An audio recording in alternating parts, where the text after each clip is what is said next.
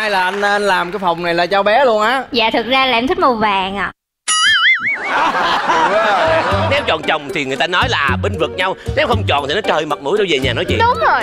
Dạ chồng em Chris Fan thấy chưa? Này là em không muốn bị chọn đâu mà tại luật chương trình là phải thẳng. Sao mà khó quá à. Chị, hai người xuất hiện ở vòng 2 này đó chính là Huệ Như và Mai Quỳnh Anh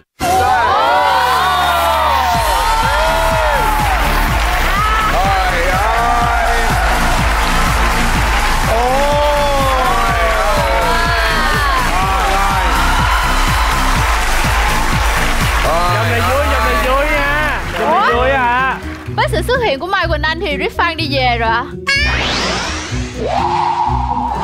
Về rồi.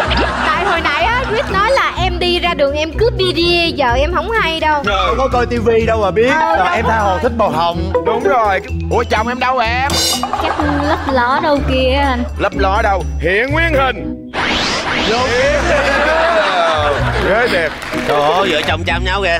Hai đứa mới đi học mẫu giáo ở bên phường 7 về Thì thưa quý vị, nghệ sĩ chúng tôi à, luôn à, mong muốn làm tốt chương trình. Và bên cạnh đó là chúng tôi luôn giữ lòng tự trọng cao Để xảy ra những câu chuyện mà không công bằng với những người khác thì nó kỳ. Dạ. Nên hoàn toàn ngày hôm nay là Mai Quỳnh Anh đến là Chris không bao giờ cho biết trước là sẽ hỏi gì Bởi vì Chris đâu có biết Và cũng sẽ trả lời một cách nghiêm túc đàng hoàng Dù cô ấy có chọn hay không chọn dạ. Đó là sự thật chơi công bằng với bé chứ không có yên tâm đi anh nói thiệt. Rồi sau đó về nhà gia đình ta có gì thì mình không quan tâm nữa. Rồi vì đó là chuyện riêng. Gái giới thiệu đi con. Dạ em chào anh Giang, em chào các anh chị, chào khán giả. Em tên là Mai Quỳnh Anh Em ờ, đang là diễn viên. Em đã có gia đình chưa? Dạ em Em có chồng đây rồi ạ. À. Rồi sao vợ chồng có muốn nói gì gì với nhau không? Từ lâu anh chỉ xem chúng ta như hai chị em Đâu có. Bé bữa nay là anh, anh làm cái phòng này là cho bé luôn á. Dạ thực ra là em thích màu vàng ạ. Ây da, sao vậy bà? Rồi bây giờ anh hỏi nè ở nhà em gọi chồng em là gì? Dạ chồng.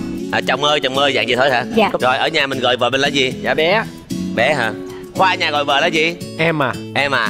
À còn vợ gọi em là gì? Em nhỏ hơn mà gọi Khoa anh ạ. À thì ra là vậy ha. Ủa rồi giờ anh với vợ anh nhà gọi nhau là gì nhiều người biết mà anh chưa không biết mà anh gọi vợ anh là yêu thương. Yêu thương.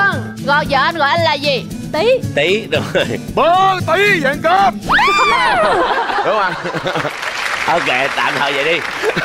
Rồi bây giờ hai bạn chúng ta là phần nữ nhi nè. Quánh tôi xì cái là hai ba. Một, hai ba. Thắng mình giành quyền mình được chọn vị trí nào?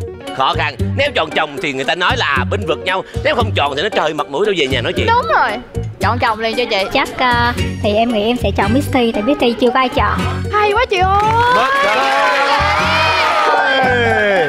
Có công an việc làm rồi nha. Dạ. Thưa quý vị vòng chơi thứ hai xin được phép bắt đầu.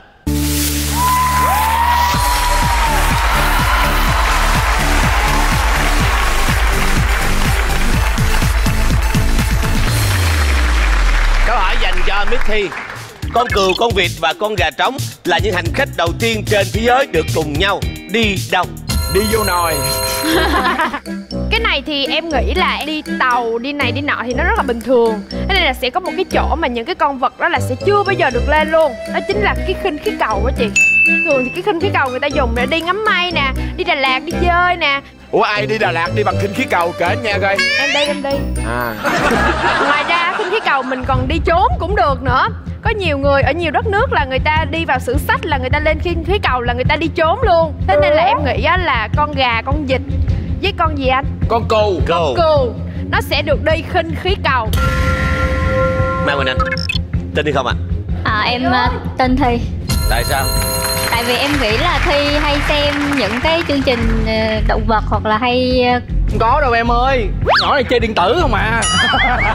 Khinh khí cầu là chưa đi Mà em cũng nghĩ là chắc phải làm gì đó to lớn hơn lại chuyện đi lên kinh khí cầu. Ý em là đi lên đâu? À, Lên lên cái hành tinh khác để để test coi được sự sống của nó không? Giống như mình thí nghiệm chuột bạch vậy cũng có lý. Cũng có thể đó. Là dạng đi phi thuyền đó hả? Dạ Ừ. Đi uh, phi đi thuyền phi thuyền chứ ai đâu đi kinh khí cầu. Lựa chọn của Mai Quỳnh Anh. Tin Miss Thi là một sự lựa chọn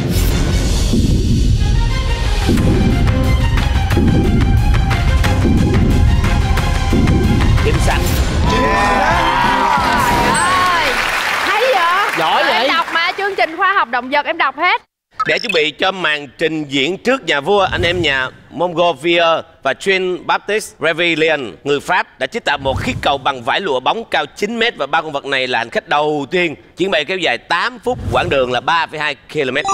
Wow Tức là giống như là thử nghiệm á. Em biết tại sao cho ba cái con nó lên khí cầu không? tại sao Tại vì nếu có sự cố gì xảy ra thì nó sẽ không phàn nàn với mình được. Chưa cho con Nếu mà cho thử vô người lên người ta sẽ phàn nàn rất là nhiều đúng không? nhất là lê dương bảo lâm á. Gì vậy? Um trời luôn á. Trời ơi, dễ gì tôi đi với chỗ đó.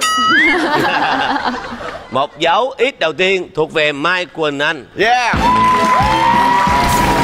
Vị trí tiếp theo chính xác là?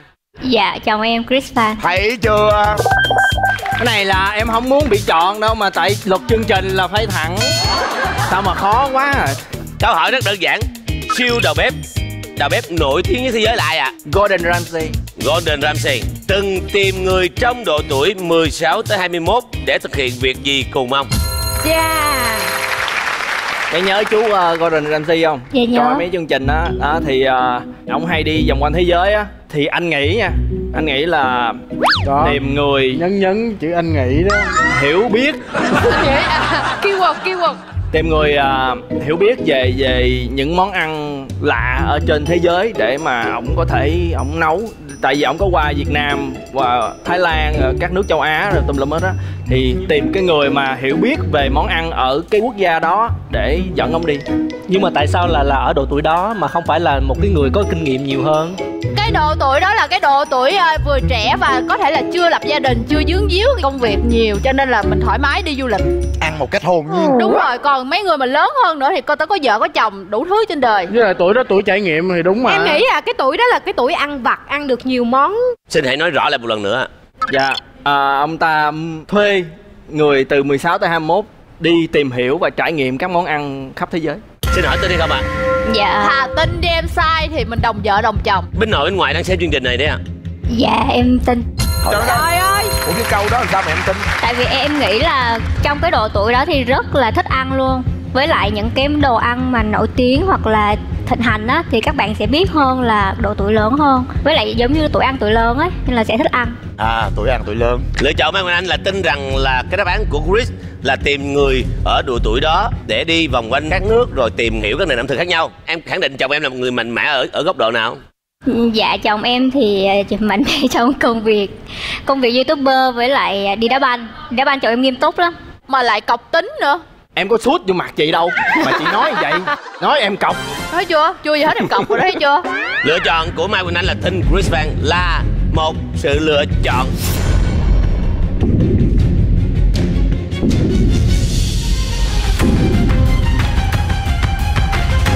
chính xác chính xác